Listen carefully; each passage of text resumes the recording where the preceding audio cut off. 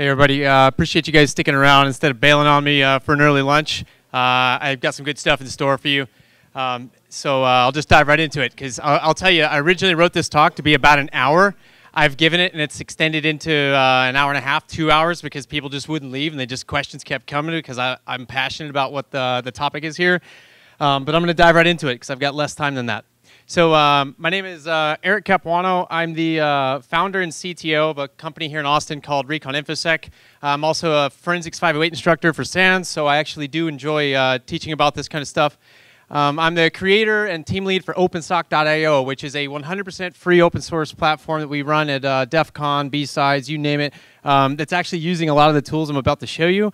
Um, and, uh, and I encourage you to check it out if you're ever at an event where we're running it. It's, uh, it's pretty awesome. I'm a 1B4 operator for the Air National Guard, SOC manager, former SOC manager for Texas DPS. I see a couple former colleagues in the house.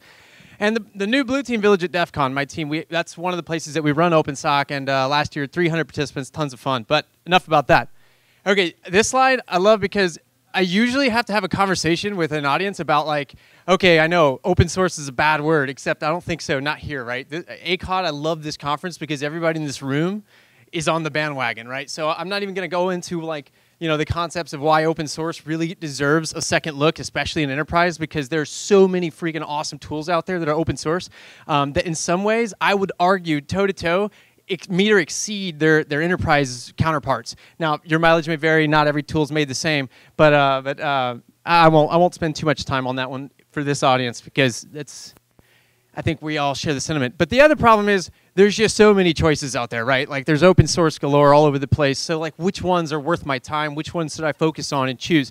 Um, there's tons of great ones up here. Um, I've zeroed in um, based on the topic here, right? Threat hunting, right? So there's all kinds of awesome tools here that are worth a conversation and discussion, but I'm going to only cover a couple today that I think are most relevant for my use case and the best bang for the buck based on my, my extensive uh, uh, experience with them.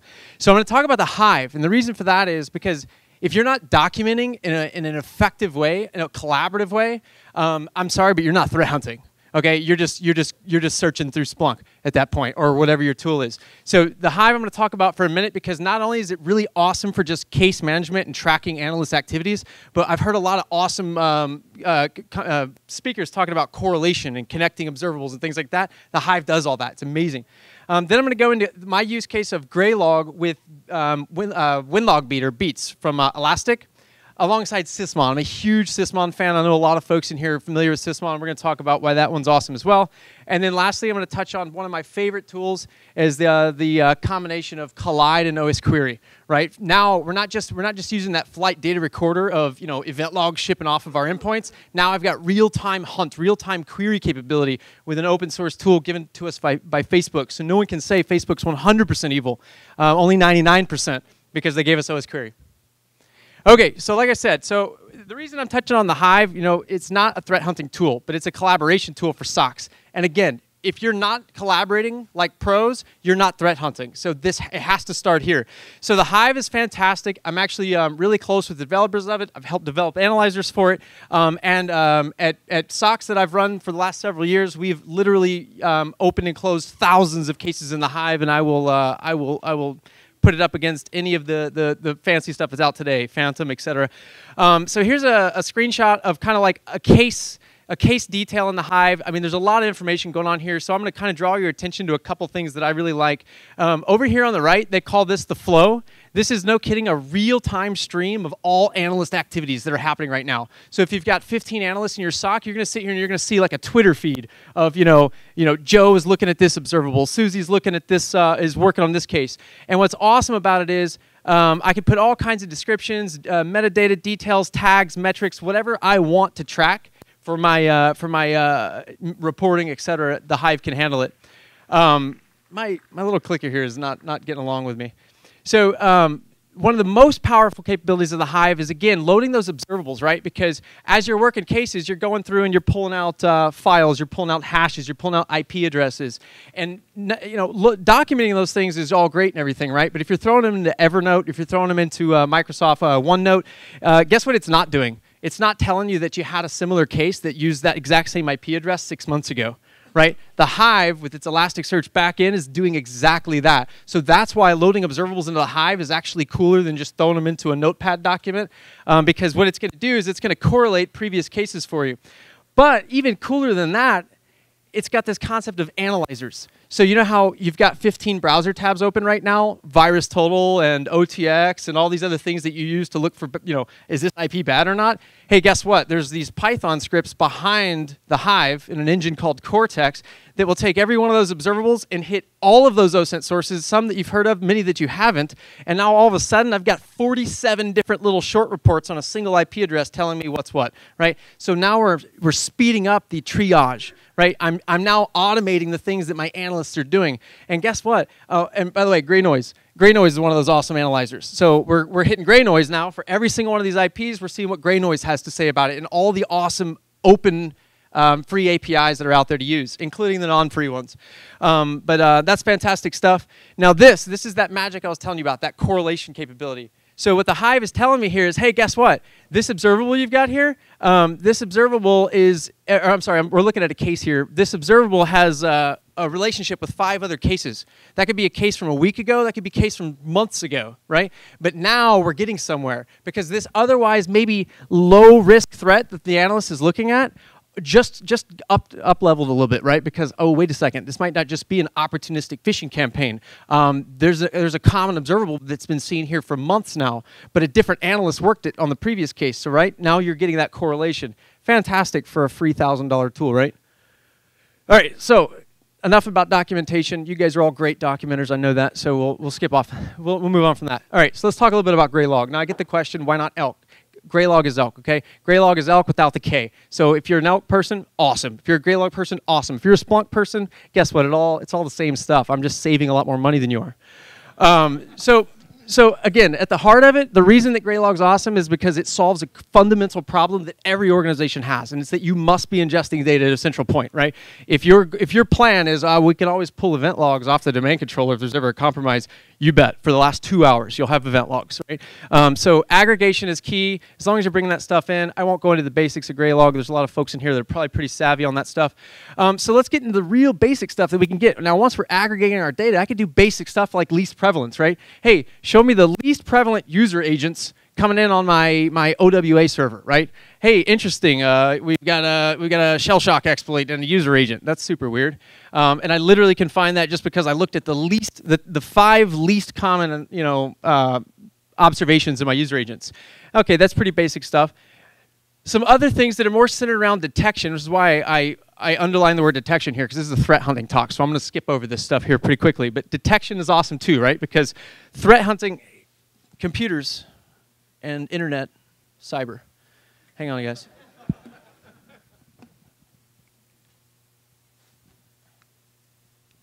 I swear I've done this before. Yeah, I tell you what, I'm going to put down the fancy clicker here, and I'm just going to just going to click the button like everybody else. Okay, so um, so the reason that uh, that I talk about pipelines here for a second is because another thing about threat hunting is it should absolutely be informing continuous monitoring. So as your threat hunters are finding awesome stuff, uh, hey, look, uh, indicators of compromise, right? Um, interesting activity, anomalous things, that should be kicking over to your SOC, who's then writing continuous monitoring detection right? Whether that's a scheduled Splunk query, whether that's a Graylog pipeline, right? So we talk about detection for a second here because it is absolutely part of this. So what we can do in Graylog is we can write these, these they call them pipeline rules, where I can basically, I can query, or not query, I'm sorry, but I can pre-process every event that comes into my stack, and I can say things like, look, if the command field contains any of these strings, right, like VSS admin delete shadows, right, which is the absolute most common precursor to a ransomware attack, right? I'm going to delete your uh, I'm going to delete your volume shadow snapshots because that's going to be your first method of trying to restore what I've done to you, right? So there's a whole long list of these. There's literally hundreds and hundreds of these Graylog detection pipelines that you can get on GitHub.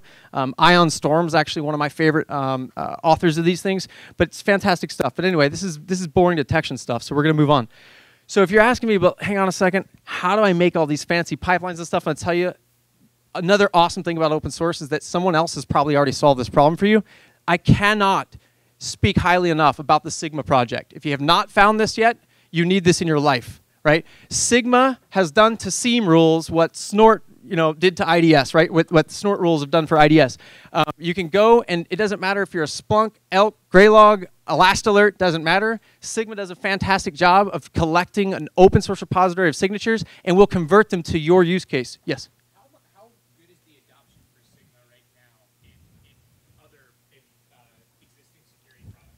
So the, the, it's a great question. What, what's the adoption like right now? What's the success rate for adoption into Sigma and other products? The awesome thing that I'm seeing right now is things like uncoder.io coming up and saying, hey, guess what? We can convert your Sigma signature into anything under the sun. We'll convert it into a Yara signature. We'll convert it into uh, a Splunk query. And so the thing is, uh, uncoder.io.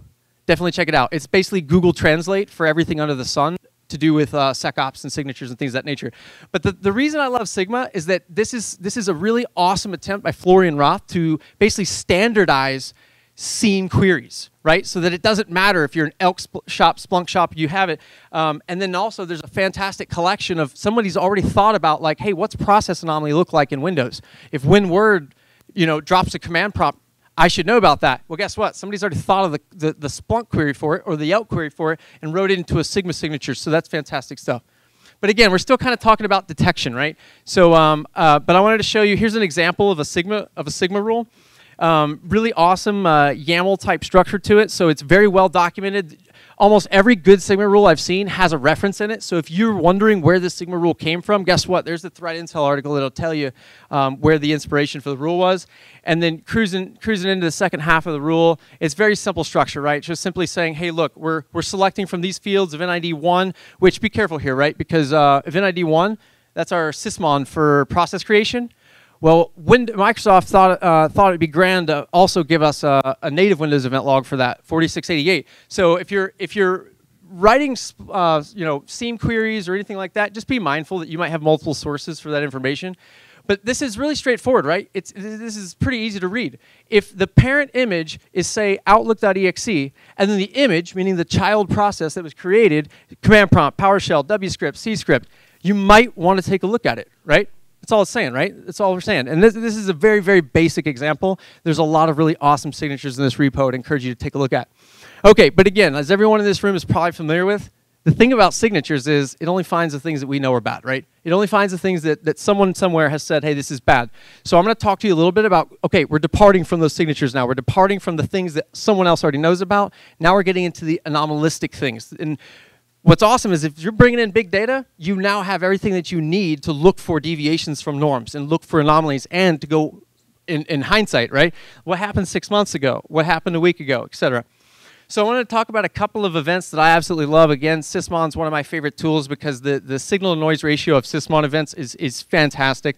Um, I, you are, we are starting to see Microsoft try to close the gap and give us the, the same value that we're getting out of Sysmon logs, but we're ways off from feature parity here. Um, so anyway, process creation, file creation time. So for things like time stomping, network connection, right? It's fantastic because I don't like to rely on maybe Windows Firewall log is logging or not. Um, drivers being loaded. We're going to talk about some of these some of these event IDs and where they're going to be useful for us in hunting for evil. So extremely basic use case here, right? Everybody here is going to be like, yeah, okay, great. We all know 4625 failed logon, and then I can filter out common failed uh, failed logon reasons, being a an expired password, because everybody knows, right? When your when your enterprise has a 90-day rotation on passwords, and uh, you know Billy left Outlook logged onto his computer overnight, and now it's brute forcing the Exchange server. I don't care about that, right? So I'm looking for anything that's not on my whitelist. Or maybe I'm looking for something like uh, possible pass the hash lateral movement. So 4720, local accounts being created in my organization. How often should users be creating local accounts in my enterprise AD environment? Not very often, right? So I'm looking for, hey, show me all local user accounts being created or, right, this really fancy Boolean logic, or, you know what, show me any 4776s. NTLM authentication, which is pr predicated, not super duper common anymore, and I'm filtering out, and I don't, and, and uh, where, where it's a 4776 and the source is not one of my domain controllers. Right now, what I'm seeing is NTLM authentication coming from a workstation, right? Which is commonly when local local accounts are being used to move laterally through an environment. Super simple use case, right? Just giving you a kind of a primer to get into some of the things, uh, maybe that get a little deeper in the rabbit hole. So again, assuming we've got Sysmon at our disposal, event ID 6, I can look at drivers being loaded across my entire organization. I can say, show me all drivers being loaded that are not in a common location for drivers. See, this isn't me saying, oh, hey, the latest Emotet loads a driver out of C Windows temp slash Emotet underscore LOL cyber. No, what I'm just saying is, look, I don't know where bad drivers might be coming from. So what I'm going to do is I'm going to take a I'm going to take a a whitelist approach and just say, show me all drivers not being loaded out of C Windows, or maybe uh, I've got a list of approved drivers that I know are kind of on, you know, in, normal in my organization. Now I'm seeing everything else, right? This this is that difference between continuous monitoring and threat hunting right? This is a labor of love because I'm gonna when I run this for the first time, I'm gonna get a lot of stuff that comes back right in my organization. But it's all stuff that I should be building a whitelist for and then seeing what the outliers are.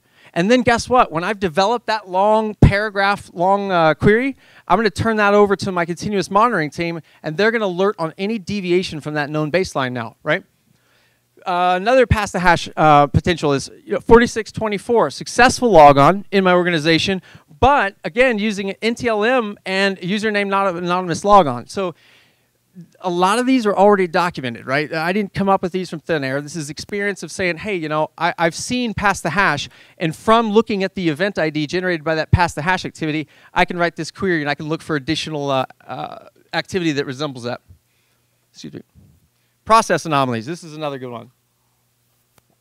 So um, for any of you that have taken um, uh, SANS uh, 508, one of the things we love to talk about is, you know, knowing normal if you intend to find evil, right? So if I know normal, meaning that let's say svc host.exe should always be spawned by services or anybody that's caught on to the recent changes in Windows 10, now MsMpEng, so uh, Defender. It used to just be, hey, services is the only proper parent for SVC host. That's recently changed. we had to update the posters for that. But now I, all I've got to do is I can say, hey, if there's a single SVC host in my environment that has spawned from something other than one of these, I want to know about it. Because that's a very, that's a very common like hiding in plain sight technique. And I can take any one of the common Windows binaries, right? Um, and I can plug in the, the, the whitelist of what the parent child relationship ought to be, and I can find that with a pretty, pretty straightforward, pretty simple query, accounting for the fact that it could come from an event ID 1 or an event ID 4688, but the, the concept is the same, right? It doesn't really matter. Um, as long as I know what normal should look like, like for instance, almost in every case, the argument passed to svchost.exe dash k. So show me any instances where that dash k wasn't used, right? I'm not going to say it never happens, but I'm going to say it happens seldom enough. That's a pretty short whitelist for me to build. How about the infamous Mimikatz, right? Like, what's what do you think is going to be more effective? Me trying to look for like every MD5 of Mimikatz binaries, or for the name Mimikatz, right, to show up? Because I'm going to guess if an attacker really knows what they're doing, they're probably going to they're going to they're going to use a permutation that I haven't seen or that's not on VirusTotal. They're not going to call it Mimikatz. It's going to be called something else like HydraCats, right? So instead of trying to look for Mimikatz, you know what I'm going to do? I'm going to look for the behavior of Mimikatz. I'm going to look for another event that's, that's strictly coming from Sysmon is I'm going to look for a, prox a process that's doing a raw read, that's accessing another process in memory. But specifically, what I'm looking for is anything that's not in C Windows, any process that didn't load out of C Windows, accessing LSASS or WinLogon in memory. Right? So now I'm, I'm not just looking for Mimikatz. I'm looking for anything that, that, that exhibits the behavior of Mimikatz, meaning trying to pull those secrets out of memory, right? So again, right, deviating from detection or from from our detection side of the house and more just threat hunting and looking for the behaviors of these bad things that uh, that we know exist out there in the world. All right, here's kind of another simpler use case. Um, just simply saying, yes, I'm sorry, go. You bet.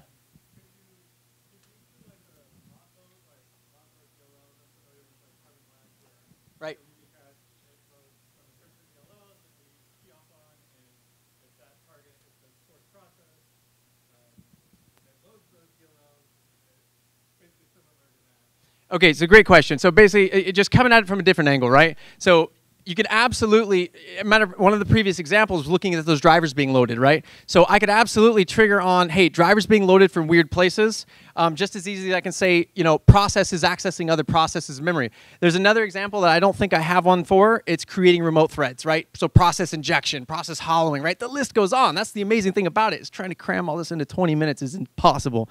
But the fact of the matter is as long as i start thinking about look i don't want to look for mimikatz I want to look for anything that's trying to pull secrets out of memory, which is what Mimi Mimikatz is doing, right? So as long as I'm thinking more behavioral instead of signature based, now I'm going to start finding all the things that hell, I didn't even know this was possible, right? I might find something that's trying to access LSASS that's not been seen yet, right? And it's not because I've got Carbon Black or some other ridiculously expensive, which Carbon Black's a great tool, but it's it's literally it's literally just because it's literally just because I'm looking for that behavior instead of that tool, right? And that's that's the idea, right? But the answer is yes. The answer is yes. If you're loading weird drivers to do some sneaky stuff, I can absolutely do that. And actually, when I get to Kolide, I'm going to talk a little bit more about that.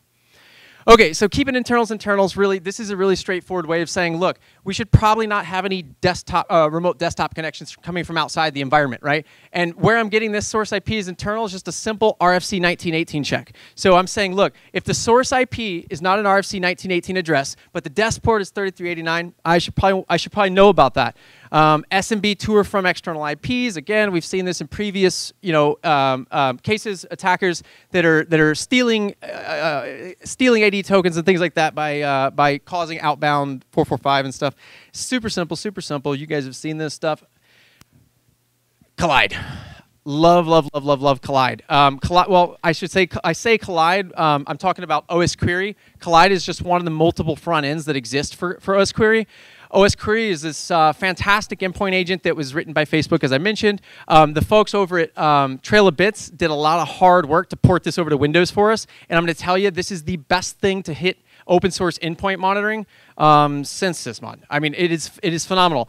If you've ever written a SQL query, you can already use Kolide. That's the awesome thing. Um, there's a lot of built-in packs. I'm going to show you some of those here in a minute. Built-in queries, essentially, you can just pull right down from GitHub, load into Kolide, and now guess what? It's running like hundreds of, of hunts already for you for things that are known to be uh, anomalous, like SVC hosts spawning from something that's not uh, services. Um, now we've got IOC detection with things like Yara. So I can load Yara rule sets and use OS query to hunt with those with those Yara rule sets. Um, and then the schema for for um, basically all the different queries I can write is available to you on osquery.io. I'm going to show you some examples here in a second. Yeah.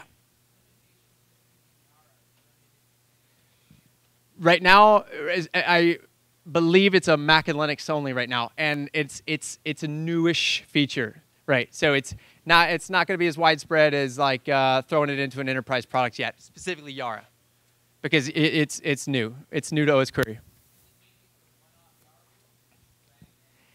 It, will let you load an entire directory of Yara rules. I've not yet tried to load many, but here's what I do know. I do know that the way that the table structure works, you know, it's it's capable of loading hundreds of scheduled queries and and, and, and essentially hunts. So I'm I'm I'm going to give it the benefit of the doubt that they're probably gonna they're probably gonna be pretty decent at the uh, the Yara rule set, but I can't personally speak to how how scalable it is yet.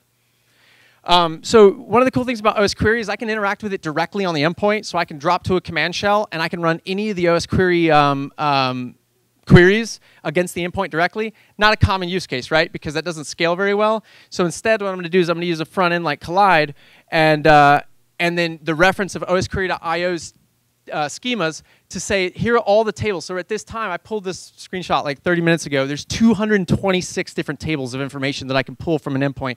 And this is absolutely real time. An example of some things. Um, app compat shims, right? Evidence execution. So if, when you're trying to answer the question of, yeah, we found malware in the endpoint, but did it actually run? Okay, well, let's go back and let's look at the app compat, right? Let's look at uh, prefetch. Let's look at the evidence of execution. I can now pull that back not only on one endpoint, but thousands of endpoints at one time. So I can pull back all the evidence of execution, filtering for maybe the name of an executable, um, which is kind of cool.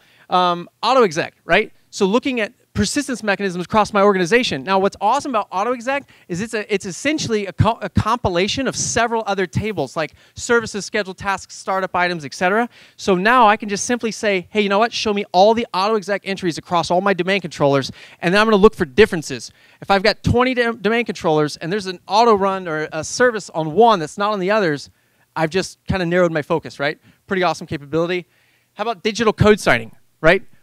Ooh, scary. When, when uh, we start to see digital, digitally signed malware, okay, great. But you know what? I can actually use Authenticode, the Authenticode plugin to then query for the signature status of, of binaries sitting on disk, and furthermore, also um, get the stat status of processes that are running. PowerShell events, right? We all know uh, bad guys love PowerShell. So now what I can do is if I'm not already ingesting those PowerShell events into a SIEM, which I should be, I could actually use OS Query to in real time search across all my endpoints for specific commandlets being used, right? Um, creating new, uh, new um, uh, objects, downloading things from the internet, et cetera, et cetera, et cetera. I'm getting the, the, the, the, the short time si signal. How about WMI, right? This is one of the most evasive persistence mechanisms that exist right now. I'm going to tell you that right now because I teach this stuff in depth, and it's, it's a tough problem to solve. It really is. So the fact Sysmon can actually do that as of uh, I want to say eight, but but but now OS queries giving me another another mechanism to query for WMI script event consumers to look for those uh, those those additional evasive persistence mechanisms. So here's what this looks like um, if, if I log into um, to Kolide, what I'm going to get is a list of all my endpoints, my organization with some basic stats, etc. And then I'm going to jump over to the query table and I'm going to start writing queries. And like I mentioned, very, very familiar to those of you that mess with SQL. Hey, select the name and the PID from the processes table. And I could run that against a single system. I could run it against 10,000 systems at one time. Um, and it's going to come back. Now, I might not want processes off of 10,000 systems, but you get the drift. Now, here's where we get real fancy with it. So I can actually query for a particular registry key, and I can start to use wildcards just like I do in SQL, and I can say, look, show me all matches from the registry where the key is like this. So now I'm looking for the debugger option that's used, that's used sometimes in persistence mechanisms, mechanisms as well. So when I when I develop all these really awesome queries, and I'm like, you know what? That's great when I'm manually hunting, but I want this stuff to run like on a, on a scheduled basis, right? I want to hunt for you know this debugger option on all my endpoints on an hourly basis. That's where packs come into hand, in, in handy. Now all these right here, these are all the default packs you can pull down from their GitHub, right? So somebody else has done all the gray matter thinking for you and created all these different queries that you can just load, and guess what? You're not hunting for these things, and then you build upon that and you run all your uh, your queries for bad things. Looking for listening processes. Since I'm short on time, I'm going to skip several of these. You're going to get my slides, so don't worry about that. So listening processes, that's cool and all. Um, account activity. If I know that Vibranium is compromised, I can immediately search every endpoint in my organization for systems where Vibranium's logged in. Um, deviations from normal, right? Looking for those process anomalies. SVC host spawning from a parent that it shouldn't be spawning from, right? Hiding in plain sight. Um, processes with incorrect paths. SVC host where the location is not sys32 or syswow64, right? Simple, simple, simple things. And you know, the sky is the limit on what your imagination can come up with for these. Yes. What, what's the uh, impact to resources? Love it. I wouldn't. I, I'd be worried if you didn't care, right? So the folks at OS Query have put, and I'm sorry, the question was, what's the resource impact, right? Because, uh, wait, hold on, another agent on the endpoint that's actually able to query everything under the sun, that's got to end badly. I'm going to tell you right now, the folks at OS Query thought about that. And now that's actually, it's, it's, a, it's a blessing and a curse. OS Query will not let you write a greedy query. So if you say, hey, I want you to hash every file in the file system, it's going to sit there and look at you because it knows better. It knows that that would be an extremely resource intensive process. So if you, as you're mastering OS query, you're going to learn that uh, I got to get pretty, I got to get pretty specific. I got to say, you know what, hash everything in this in this directory, uh, and I can even get recursive if I want to get daring. But it's going to prevent you from blowing your own foot off. So the resource um, utilization of OS query is nominal. I mean, it is it is not not an issue, and I've used it on thousands of endpoints. So it's good stuff. Um, okay, malware can hide. Uh, malware can hide, but it must run, right? So one of my favorite examples to give is list all processes where on disk equals zero. It is literally that easy. It will show me all processes that do not have a binary mapped to disk. Boom, I just solved your uh, eternal blue problem. No, okay, that's not that simple, right? But the point I'm making is if, if a process is running and it doesn't have a binary on disk, OS Query is a built-in mechanism for that, and it's a true-false flag or a one or a zero. So I've just you know, bridge the gap of $100,000 solution or OS query, and I'm looking for fileless malware. Pretty cool stuff. Um, I already talked to you a little bit about AutoExec, so I'll skip that one here. Evidence of execution. Okay, yep, yep. I'm, I'm wrapping up. You bet. All done. Actually, yeah, two more slides, three more slides, 12, 15 more slides. I'm just kidding. PowerShell activity, good stuff. Looking for downloads, right? If I'm using PowerShell to download evil things, easy thing to find unsigned code, right? Show me all processes that are running where the authentic, and you notice what I'm doing here is I'm doing a join. So I'm saying list the processes, then do a join on the Authenticode table and show me all the running processes where the digital code signing status is missing, meaning there's code running on the system that is not digitally signed.